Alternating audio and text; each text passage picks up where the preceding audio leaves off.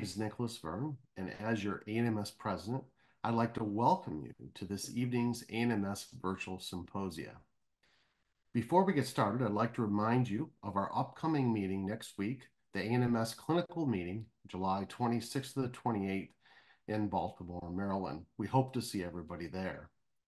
So this evening, our ANMS Virtual Symposia is entitled Mechanisms of the Cholinergic Anti-Inflammatory Pathway. Our moderators this evening will be Kirsteen Browning and Dr. Rhian Stavely. Dr. Browning received her degree from pharmacology at the University of Glasgow in Scotland, and currently she is professor in the Department of Neural and Behavioral Sciences at Penn State College of Medicine in Hershey, Pennsylvania. Her research interests include the physiology and pathophysiology of brain-gut interactions. Dr. Stavely is currently at Mass General Hospital and Harvard Medical School. And his research interests include enteric neuroimmune interactions and postnatal stem cell biology, including their interactions for intestinal disorders.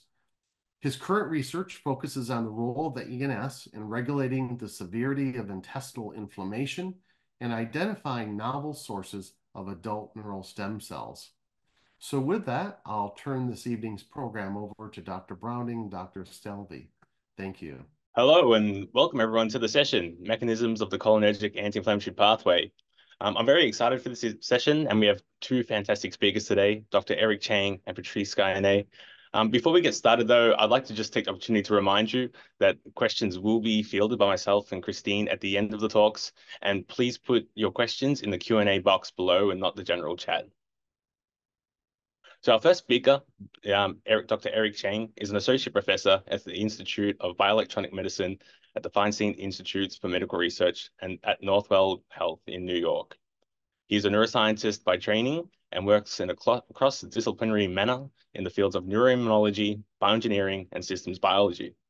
Um, Dr. Chang's primary research focuses on neurochemical and electrophysiological communication between the body and the brain, particularly through the vagus nerve, um, his works includes studying how neural signals encode physiological and immune responses with potential applications for treating chronic inflammatory conditions such as rheumatoid arthritis and inflammatory bowel disease.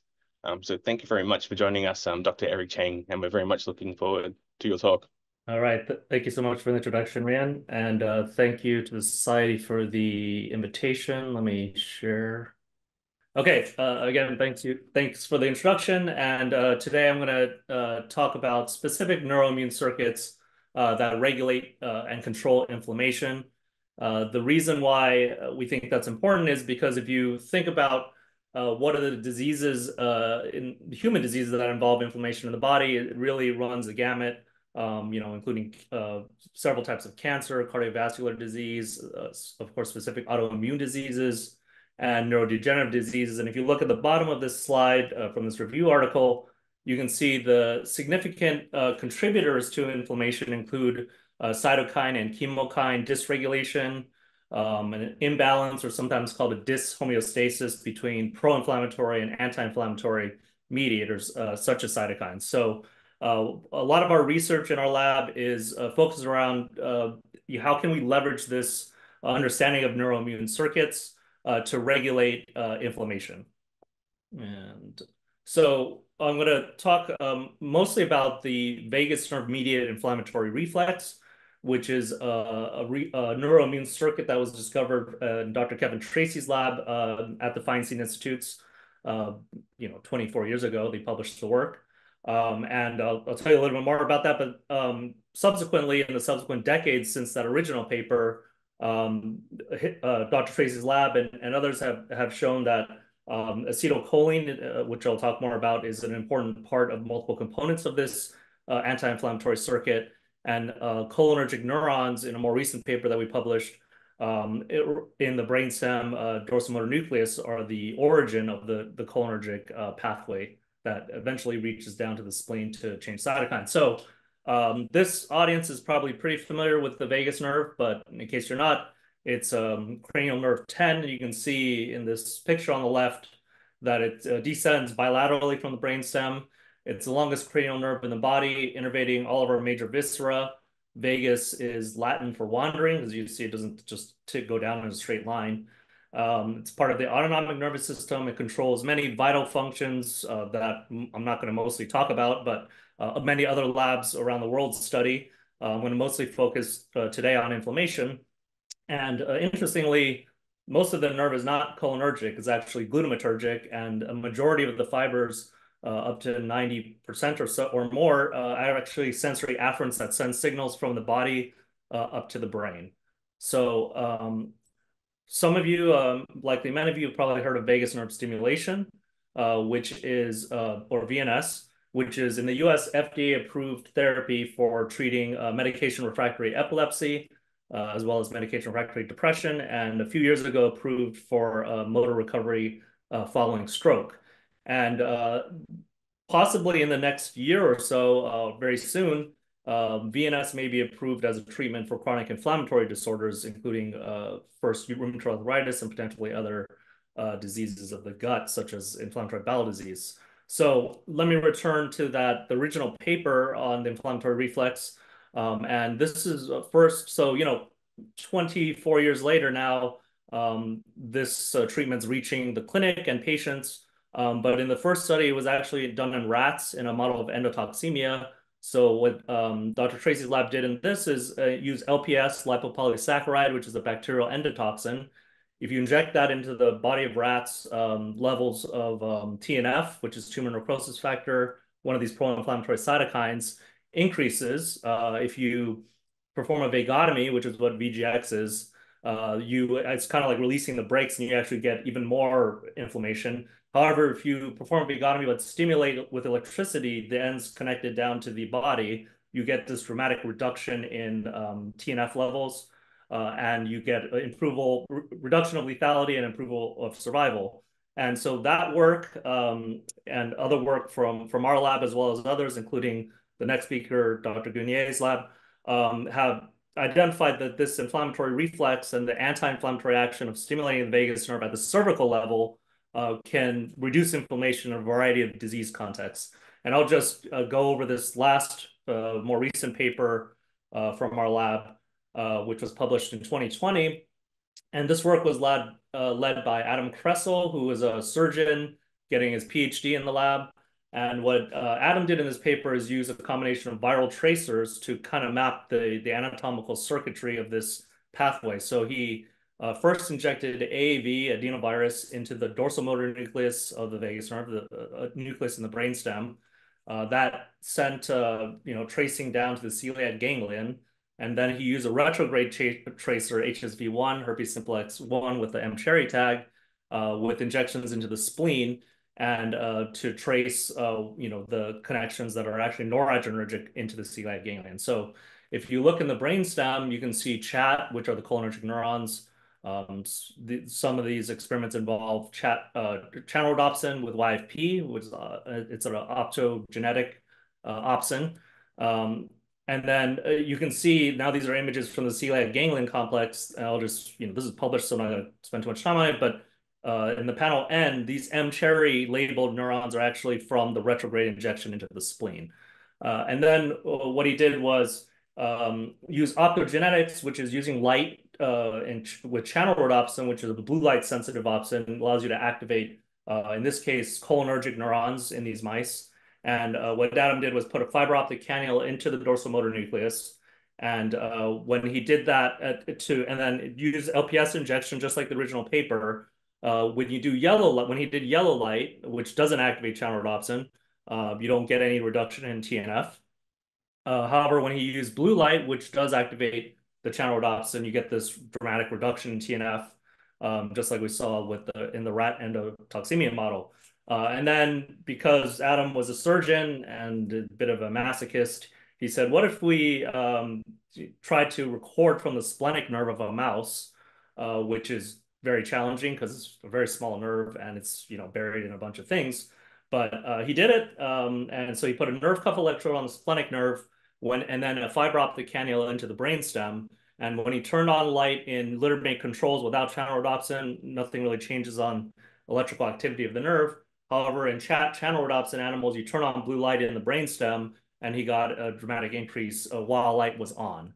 So this kind of showed uh, the connection, the, the anatomical connections, as well as a functional connection between the brainstem, DMN, uh, celiac ganglion, and the spleen. So this pathway, uh, that work, in addition to uh, several other papers from the lab and other labs, um, uh, kind of delineate the cholinergic anti-inflammatory pathway, which again originates in the brainstem.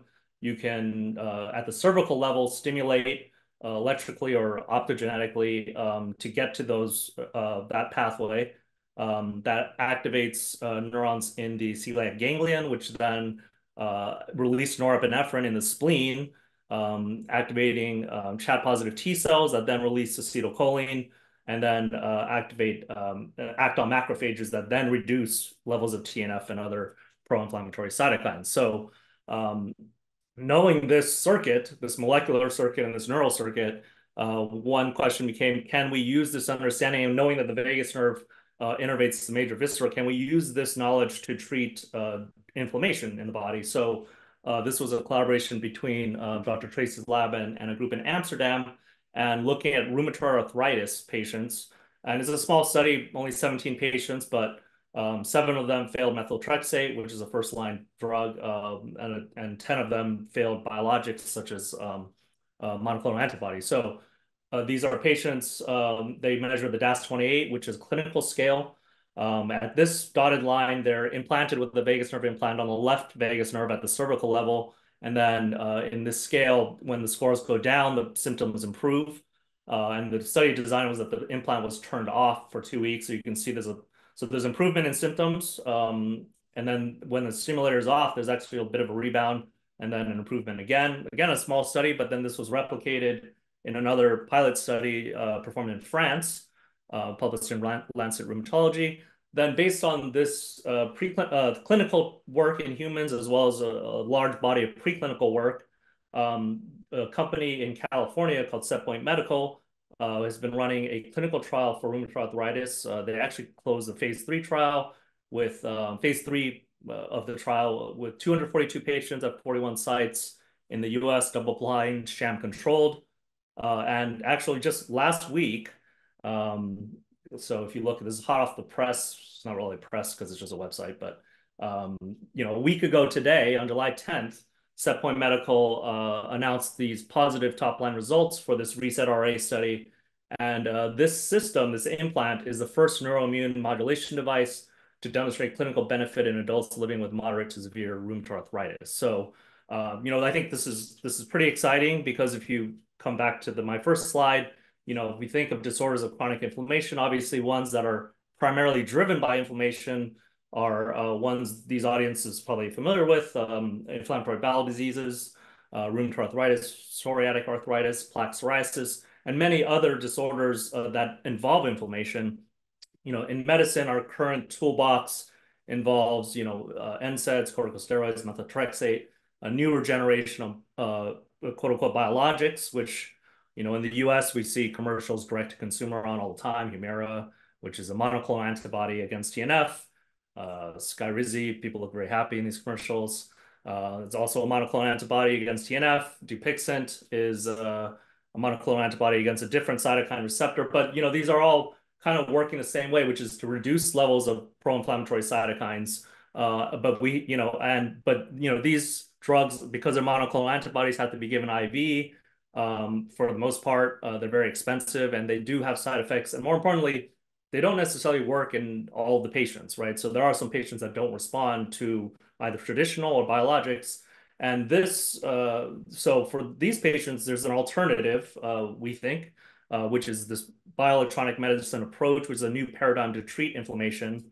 And so uh, our lab is part of the Institute of Bioelectronic Medicine, uh, medicine.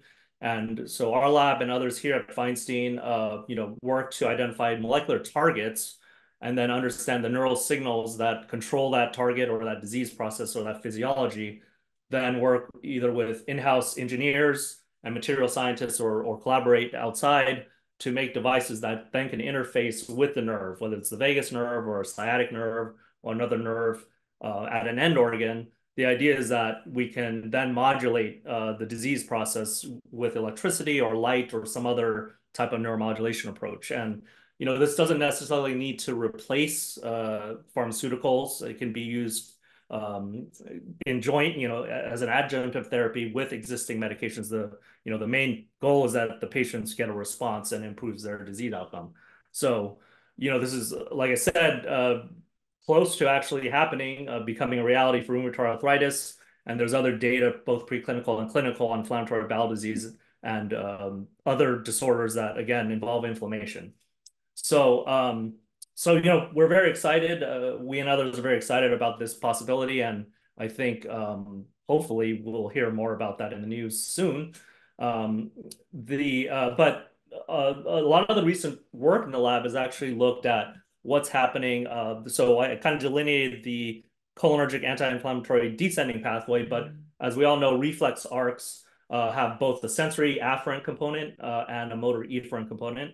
Um, so, you know, if you get, you know, a pinprick on the skin, the signals go up, um, you know, sensory afferents via dorsal root ganglia, then there's a few synapses to get to the motor uh, neuron that then causes you to withdraw. So that's a, you know, canonical reflex arc.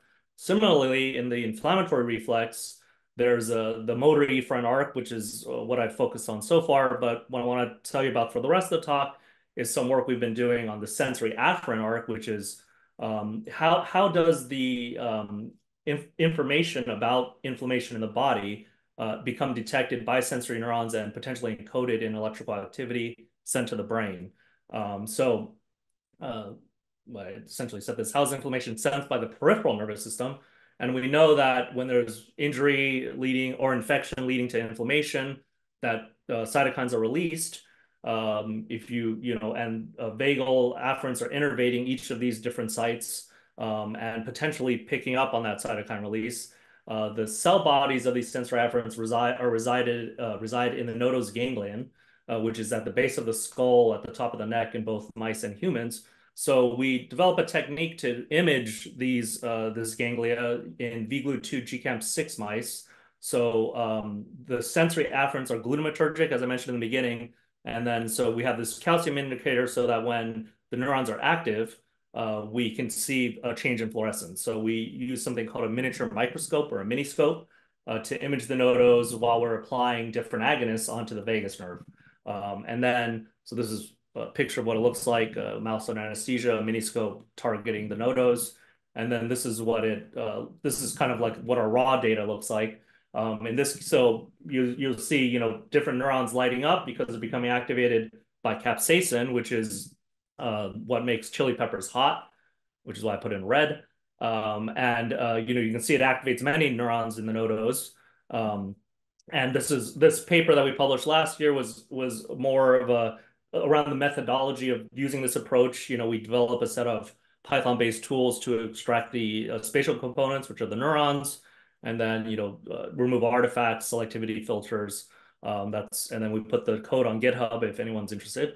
Um, and then so but what we really wanted to do with this approach was to answer the question, are there cytokine-specific neural responses uh, in the nodose ganglion? So again, we're imaging the nodose while applying cytokines uh, now. In this case, cytokines, this is TNF.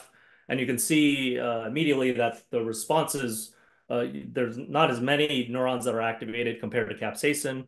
Uh, and then when we look at other cytokines, for example, interleukin-1 beta is another canonical pro-inflammatory cytokine.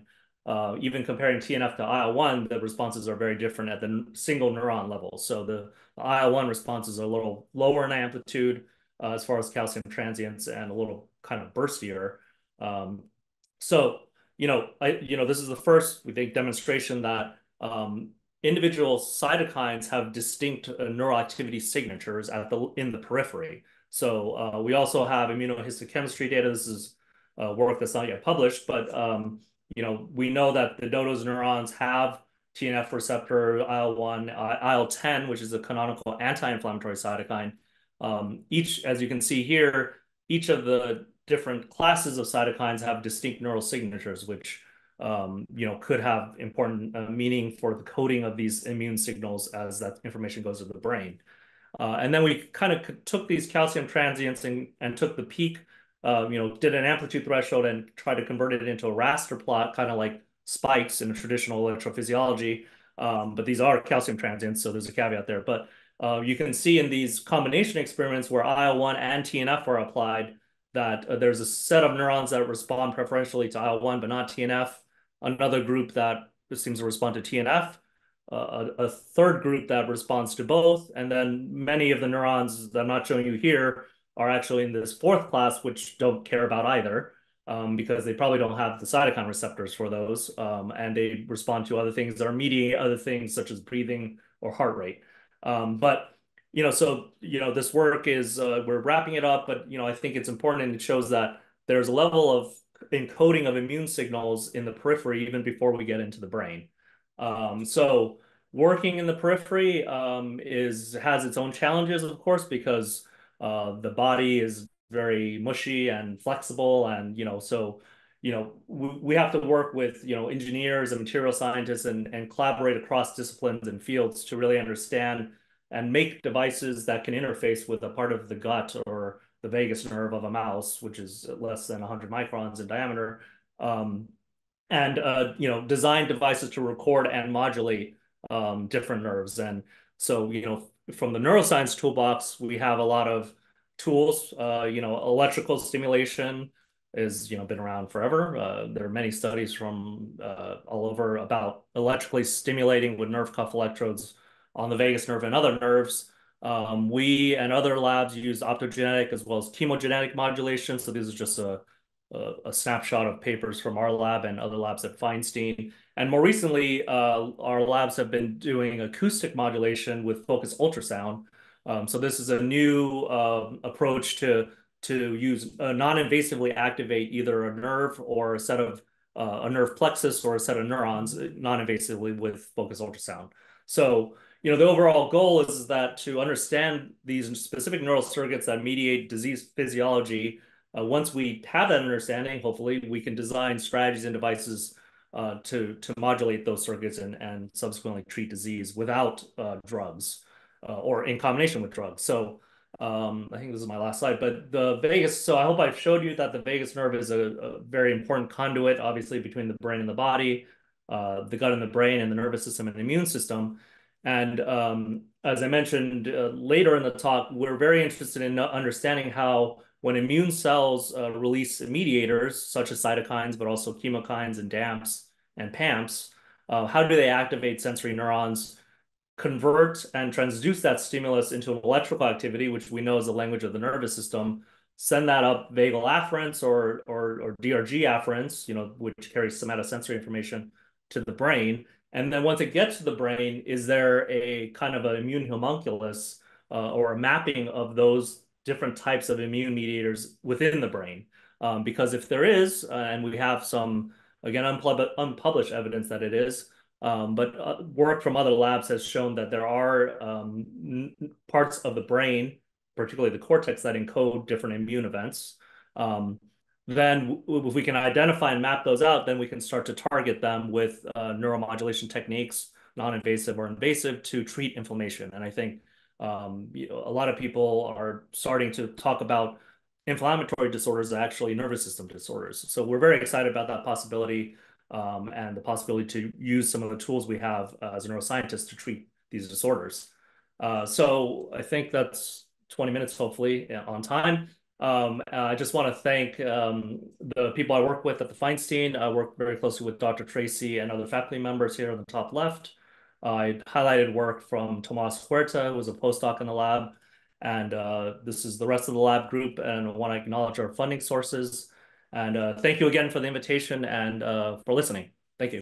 So it's my great pleasure to introduce our second speaker.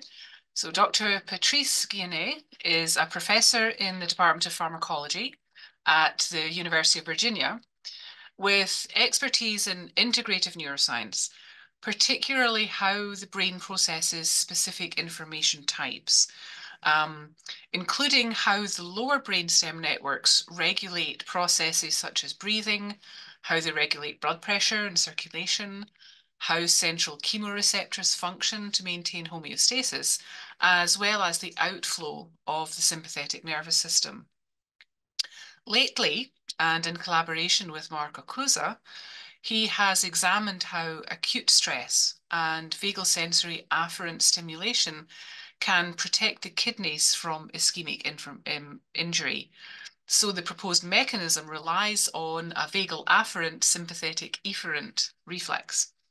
So it gives me great pleasure to introduce Dr. Guyenet and his talk entitled Renal Protective Anti-Inflammatory Reflex Elicited in Mice by Acute Stress or vagal afferent stimulation is mediated by C1 cells, the sympathetic nervous system, and the spleen. Dr. Guyenet. Okay, very good. So uh, this is the title page. We can skip. I would like to first acknowledge my collaborators and uh, particularly in my in my lab or my ex-lab since I just retired, and uh, my uh, uh, colleagues in nephrology, particularly Dr. Okusa. So you learn, you'll hear a lot about renal ischemic renal injury, and uh, that is uh, uh, because of my collaboration with nephrology. So we've just heard about the canonical vagovagal inflammatory reflex and the splenic CAP, uh, co um, conceived as, as a, as a uh, feedback regulation whereby the presence of pro-inflammatory cytokines are sensed by the vagus nerve and uh, through a circuit that's not completely understood, activate vagal efferent. Uh, and uh, that somehow uh, reduce the production by macrophage, by spleen macrophages or inflammat of inflammatory factors. So this represents a feedback loop. The vagal uh, efferent reaches the spleen uh, through the celiac ganglia, as you've heard, although there is question mark, this has not been universally found, and also through the peritoneal and the apex of the spleen as suggested by Uh, paper uh, by Komori et al. in uh, 2023. So my point is here to uh, understand, to present you uh, how this cholinergic anti-inflammatory pathway is regulated through the sympathetic pathway. And uh, this is an alternative pathway which we think is triggered by stress as part of the fight and flight response, but more oddly is actually triggered when you stimulate the vagus nerve. Now remember that electrical stimulation of a nerve is not specific. You simultaneously activate fibers of all types and this mode of stimulation or the bulk stimulation of afferents using, uh, uh, using optogenetics, we found, in fact, uh, produce the activation of, this, of the cholinergic uh, anti-inflammatory pathway through the C1 cells and the sympathetic system.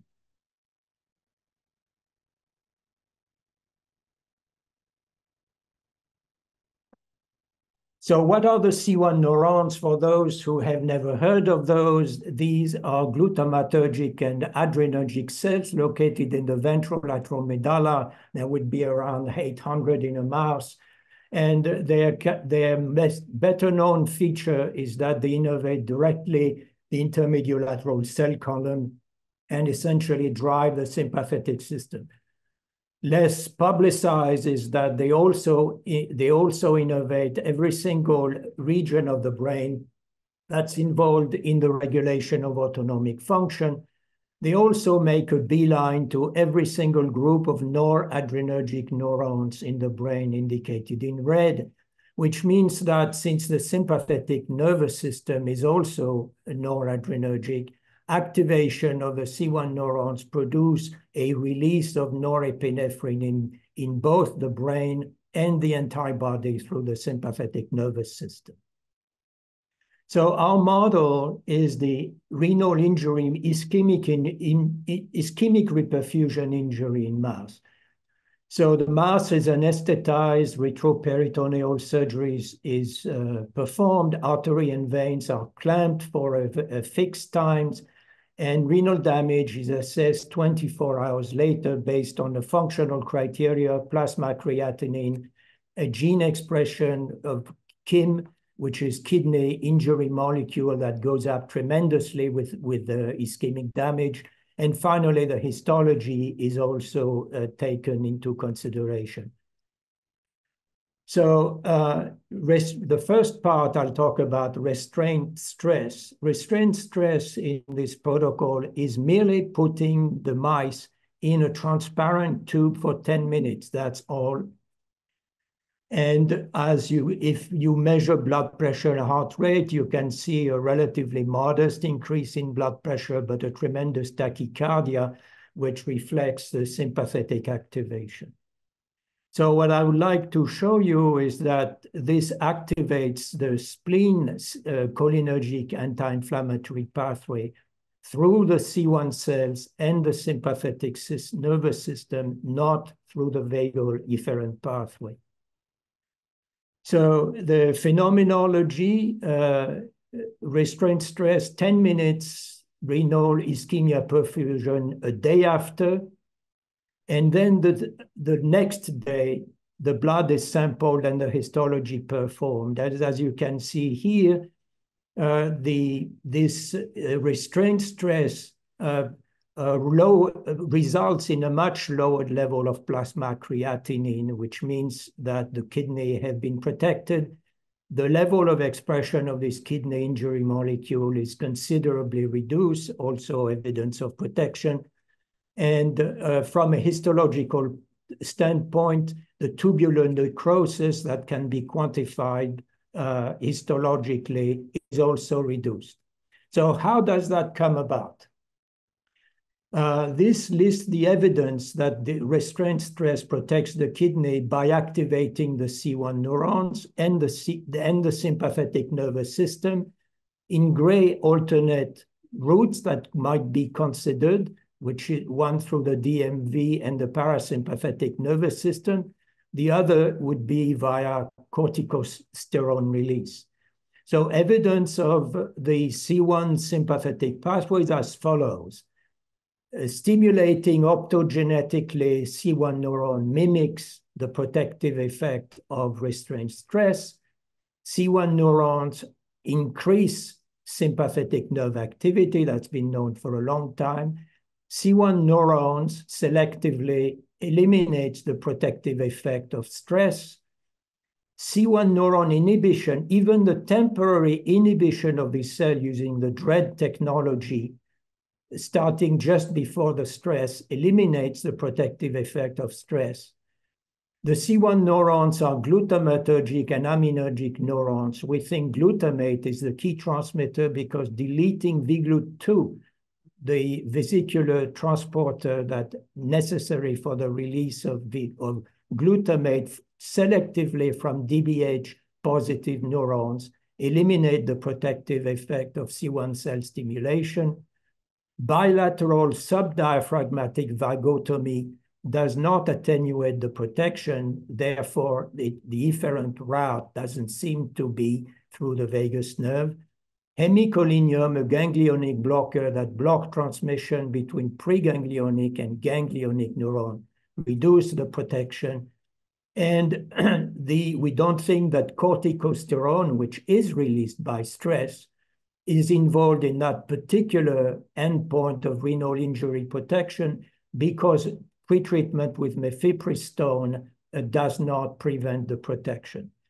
So this series of experiments suggests that the renal protect the protection of the, the kidney requires the C1 cell and is mediated by the sympathetic nervous system. Is it mediated through the cholinergic anti-inflammatory pathway? We think so because of the following evidence. The protective effect of stress on renal injury is eliminated by splenectomy, removing the spleen the protective effect of stress is absent in uh, alpha-7 nicotinic receptor knockout mice. The alpha-7 nicotinic receptor is involved in the transmission between the cholinergic T lymphocyte and the macrophages. Furthermore, the beta-2 adrenergic antagonist butoxamine, which uh, we assume work here, attenuates the protective effect of stress. And finally, injection of CD4 T lymphocytes exposed to norepinephrine in vitro and is protective. I, that is, reproduces the effect of stress. The second, so uh, the second uh, part of uh, the data I would like to show you is the, is more more counterintuitive if you if you want because it shows that vagal nerve afferent stimulation, either electrical or optogenetic, also activates the spleen CAP via the C1 neurons and SNS pathway. In other words, it's not activating through a quick uh, vagal, vagal reflex.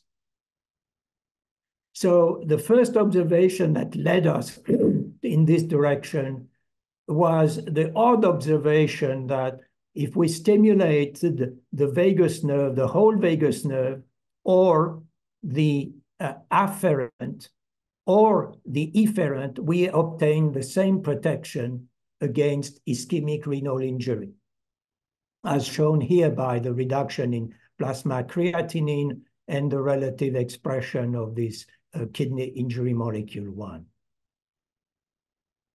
So evidence, uh, uh, this summarized the evidence that stimulating the vagal afferent works, at least in our model, through the C1 cells and sympathetic nervous system. If we stimulate the vagus nerve, we know that this activated the C1 cells. We know that we've we've known that since the 80s, actually, uh, that act, electrical stimulation of the vagal afferent will direct activate those cells. It, in mice, if you stimulate the vagus nerve, you express FOS in the C1 cells, which is an indication of activation. We know that uh, also vagus afferent stimulation activates the sympathetic nerve everywhere, splanchnics, not just splenic, but splanchnic and uh, lumbar in rats and mice.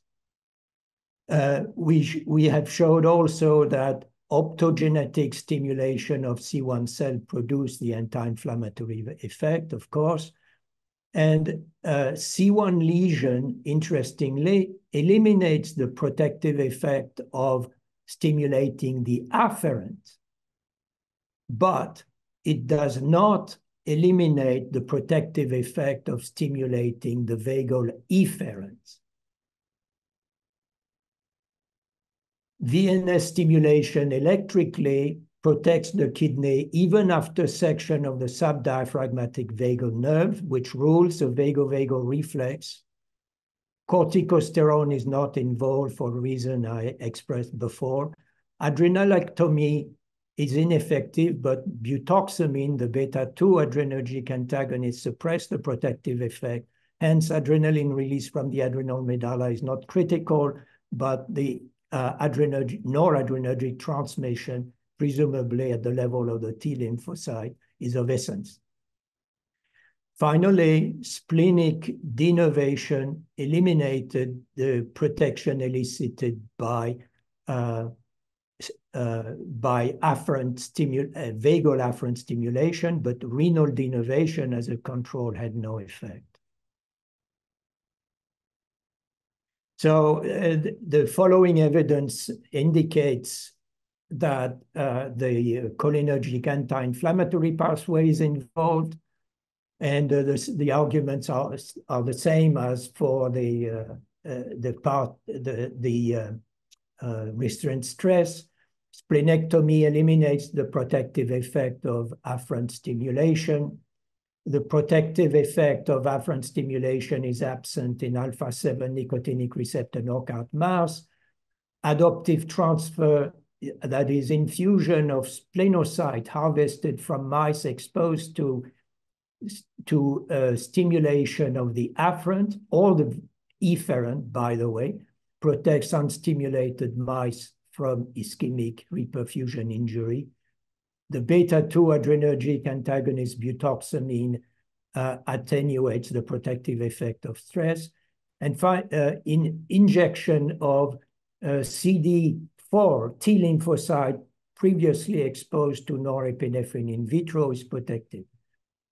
Finally, adoptive transfer of lymph node uh, cells or bone marrow did not confer the protection. So this type of evidence suggests that the effect of vagal nerve stimulation, afferent stimulation, is caused by the activation of the cholinergic anti-inflammatory pathway.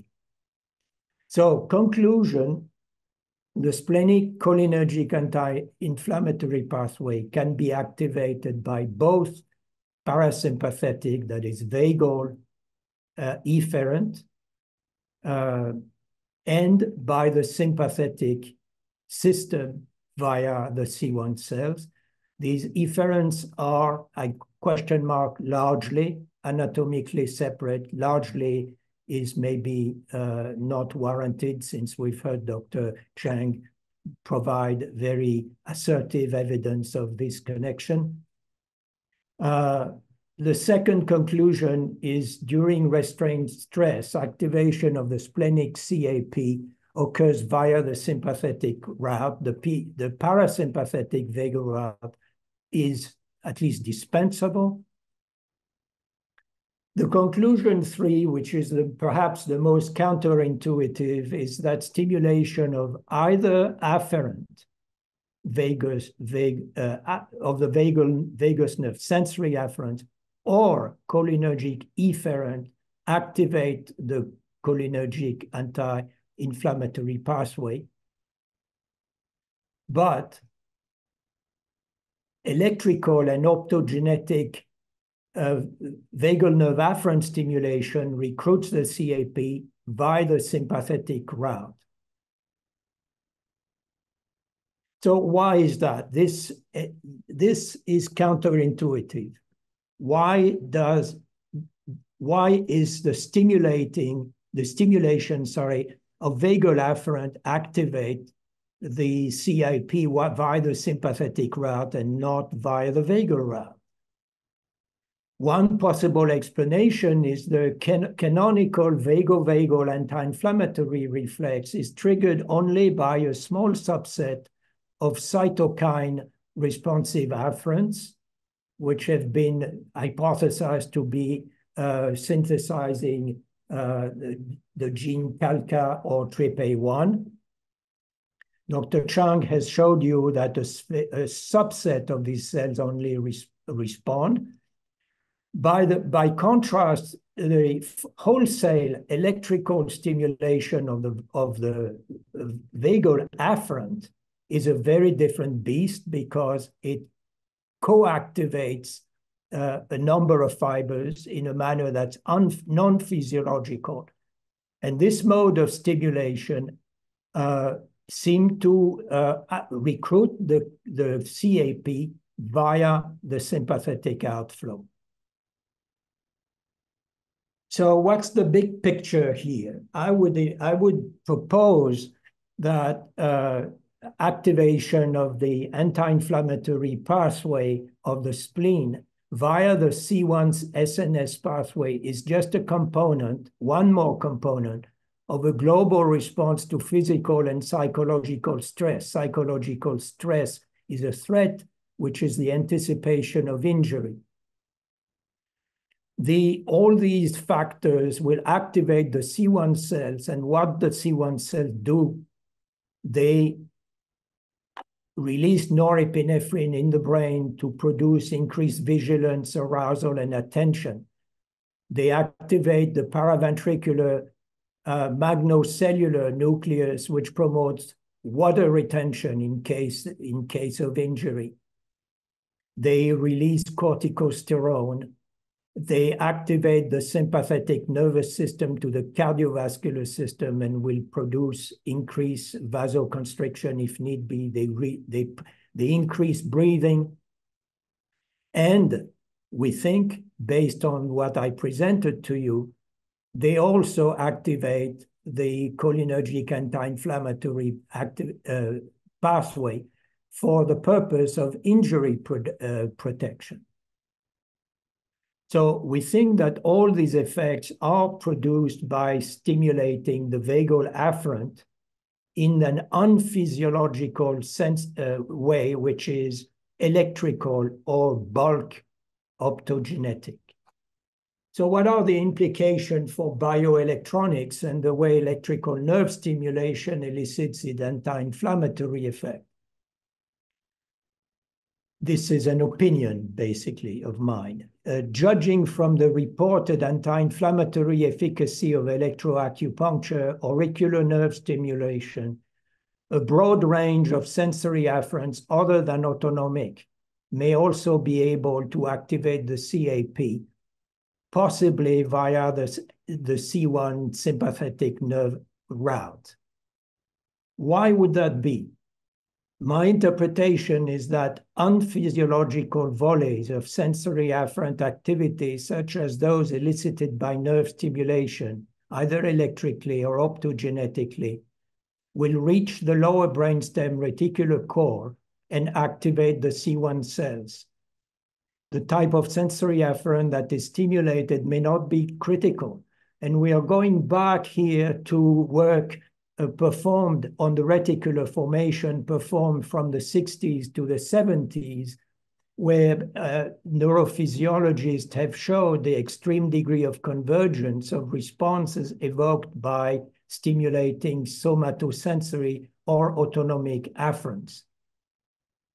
So I'll leave it there uh, with this thought that uh, the CAP can be activated in a non-selective manner by the artificial uh, uh, activation of sensory afferents uh, of a broad category of sensory afferent.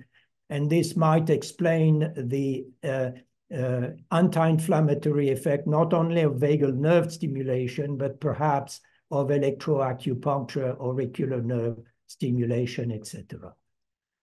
Thank you for your attention and for the invitation.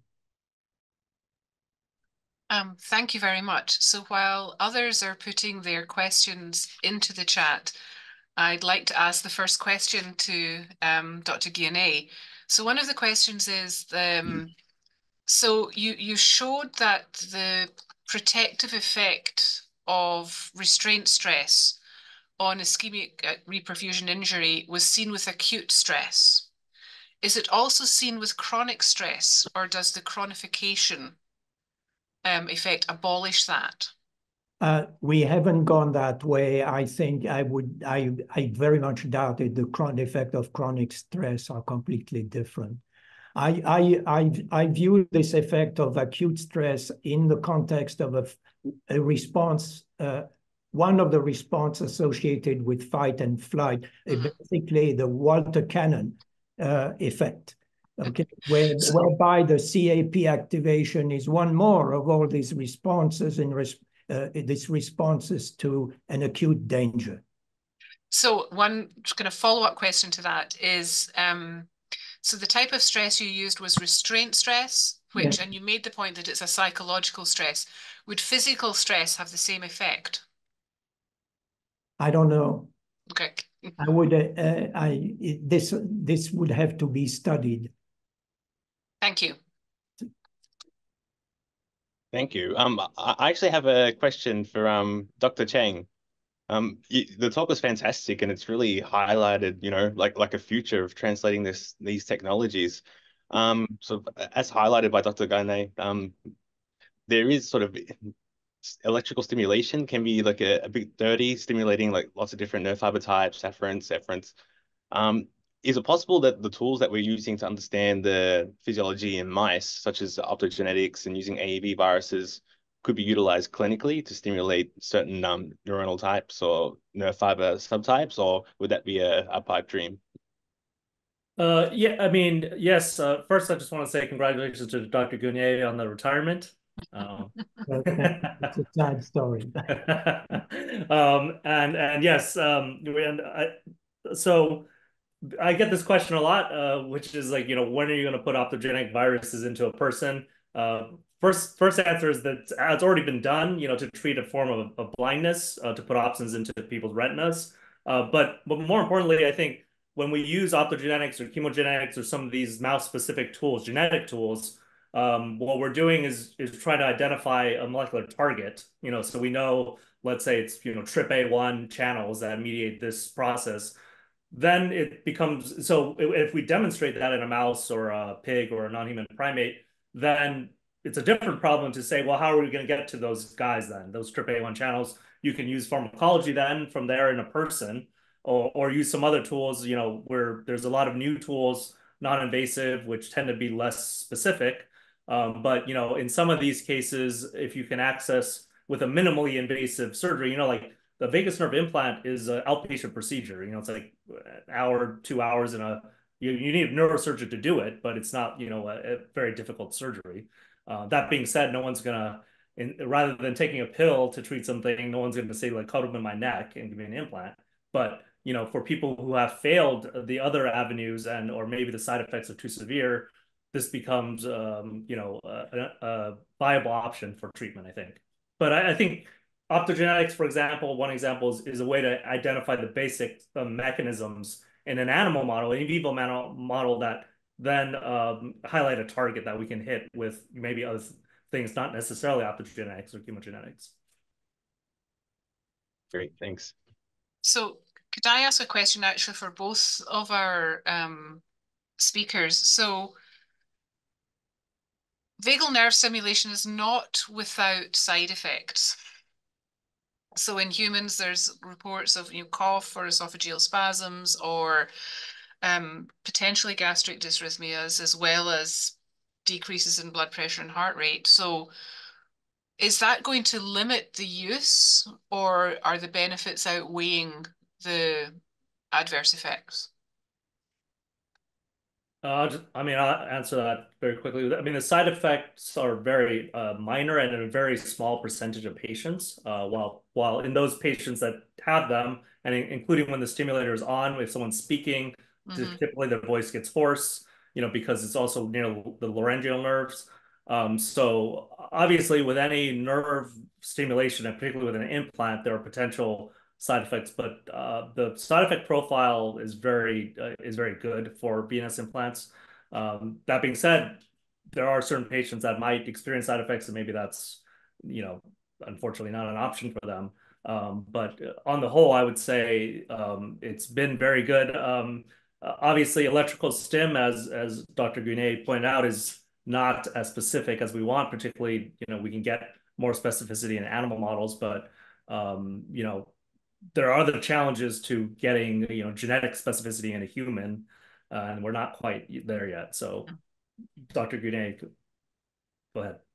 Well, maybe the specificity is not critical. Uh, if, if there is a grain of truth in what we found, is that you basically have to find a bunch of, of sensory afferents that can work their way to the reticular formation without causing pain, and you are, and you're home free. And so, I mean, maybe that's what's done with the auricular branch, which some people consider an autonomic afferent. Uh, to me, it's just a, it, it's just a, somat, a somatic inferent that happened to travel to uh, along with the vagus nerve uh, at some point. And uh, well, I'm, my understanding is that you stimulate until it really up with intent, and you up the intensity until it becomes bothersome. So you must be stimulating the most excitable fibers that may be myelinated sensory fibers, I would imagine.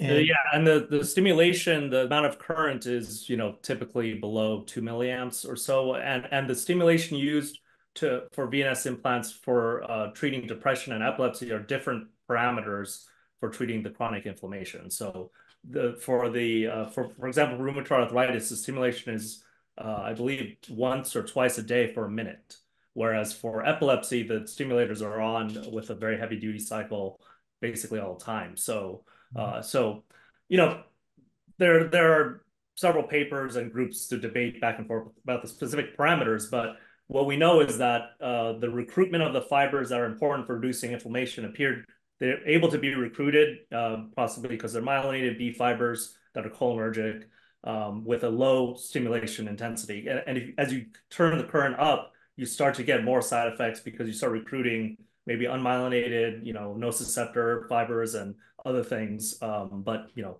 if the patient has an implant and the doctor has a controller, then they can, you know, try to dose that accordingly for each individual patient.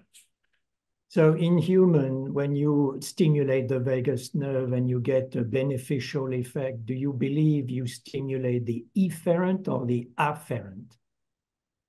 Uh, I believe it's the efferent, which are myelinated B fibers that are cholinergic descending from the brainstem.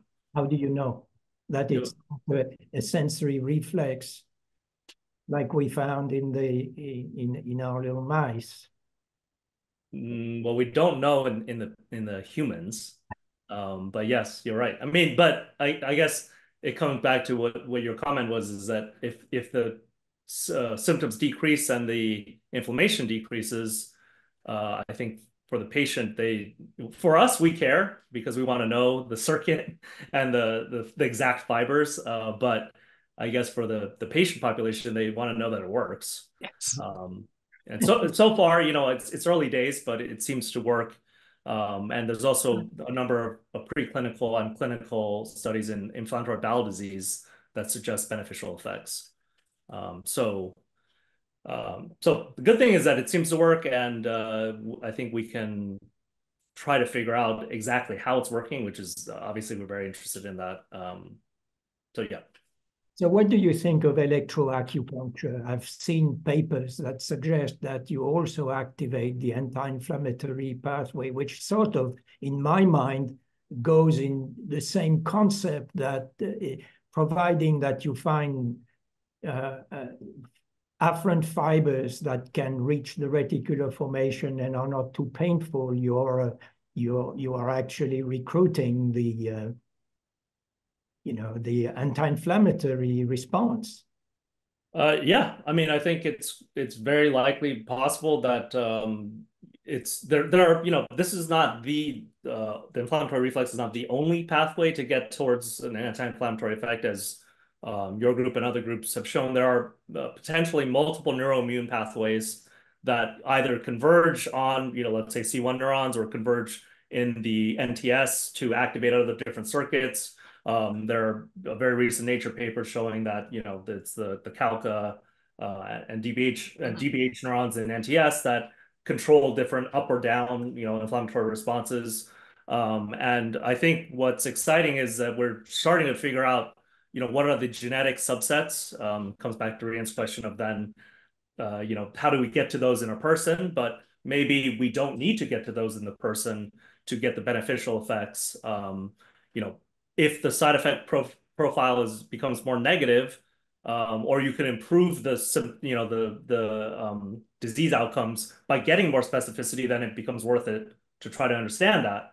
But if you don't get that benefit in the the human case, then you know it's it's more of a basic science question, which interests many of us, but um, is maybe not as important for translation and and in the clinic. Okay, so I'm sorry I'm going to have to cut this short. We have just about run out of time, okay. um, sadly. Um, but what I can say is that all the kind of unanswered questions will be posted on the Doc Matters. The URL is on screen just now. So with that, um, I have to close this session. I would like to extend my th great thanks to our speakers, um, Drs. Chang and Guillenet as well as the ANMS for hosting this late, late, latest webinar in their very successful series. Thank you all to the audience for tuning in and to their questions and interactions. And with that, um, have a good evening, everyone. Um, stay safe, take care of yourself and take care of each other. Good night, everyone.